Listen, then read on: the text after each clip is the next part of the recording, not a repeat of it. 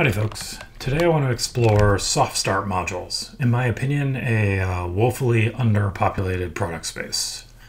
Specifically today we'll be looking at the ubiquitous and cheap Hitachi 371 468, which was designed for Hitachi's C10 RJ table saw, along with the Raymond Innovations, or also known as uh, InnoRaymond, much more expensive and much more robust GS11 standalone unit. So just to be clear, I'm not sponsored by either Hitachi or Raymond Innovations. I bought both of the modules I'm testing today with my own money, and the test results you'll see here are real. So before we go too far, why do I even care about soft starters? Well, to start with, the inrush current on my chop saw trips the breaker on the outlet most convenient to where I want to use it. And if I run an extension cord to a happier outlet, it's still a bit jumpy, if not outright terrifying on startup. So let's start our adventure with the Hitachi module.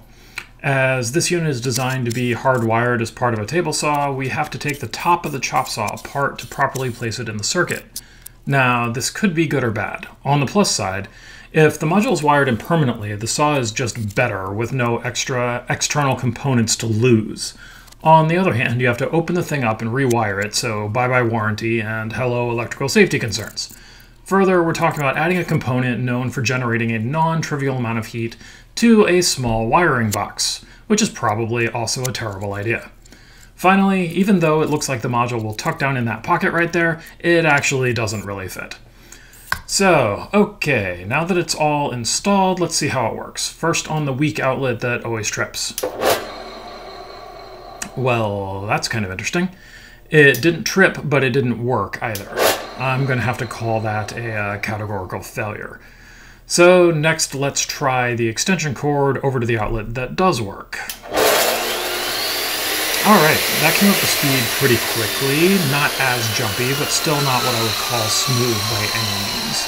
But it definitely does the job. So now let's open up the uh, Raymond Innovations GS11. First thing I noticed here is quality packaging. The Hitachi came in basically a sandwich bag shoved into an Amazon padded envelope, whereas, you know, at a much higher price point, you can afford a, a decent box for the thing.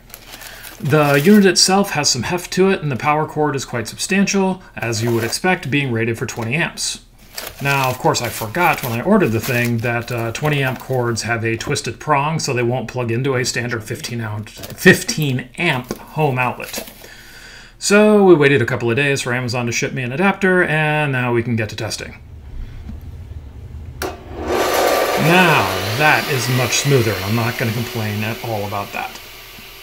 So the real question here now is, is the InnoRaymond module worth 20 times the price of the Hitachi? That is a big, big difference. In my opinion, if this is something you're really going to use, yes, it is. You don't have to void the warranty on your saw or screw up its electrical or thermal properties that some engineers spend a lot of time working on. The startup is much smoother. It's also substantially easier to move the thing between devices if you've got multiple saws or routers or things like that that you'd like to use it with. And finally, on the uh, on the softer side of things, Raymond Innovations is a small American company who is very transparent about their manufacturing process. You should uh, check out their YouTube videos. I'll link them down in the description. And also, their uh, their support is uh, surprisingly responsive, both on YouTube and over email, which has been pretty cool. So now I wouldn't recommend that most home gamers shell out the uh, $140 for the 20 amp unlimited duty cycle GS11 here. Uh, personally, I tend to over provision whenever I'm spending more than $10. Uh, most folks will do fine with the uh, 15 amp uh, medium duty C10, which is only $60.